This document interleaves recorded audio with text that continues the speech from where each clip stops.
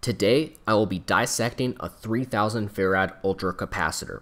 Let's get to it. First off, let's remove this shrink wrap. Now these ultra capacitors are so powerful that they can actually vaporize metal when shorted. There's a cool video that shows this in the description below.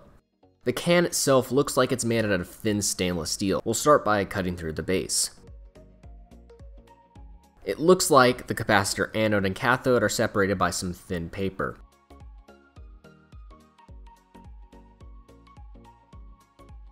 Now here's more of that paper film, which looks corroded. Uh, this is no surprise since this is a Chinese capacitor.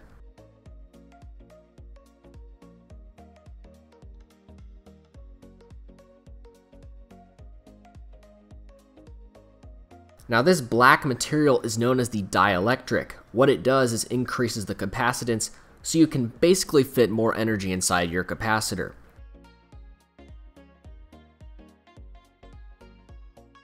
Now this capacitor cap has multiple tin metal tabs which connect to the anode and cathode plates.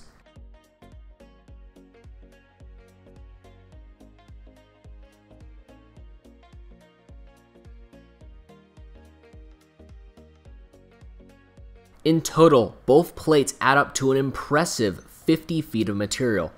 I hope you guys enjoyed the video. If you did, be sure to like and subscribe, and I'll see you later.